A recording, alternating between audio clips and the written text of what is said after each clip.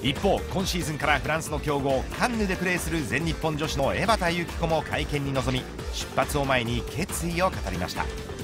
自分の持ち味であるスパイク力を生かしてどこまで通用するかっていうのを試していきたいなと思います。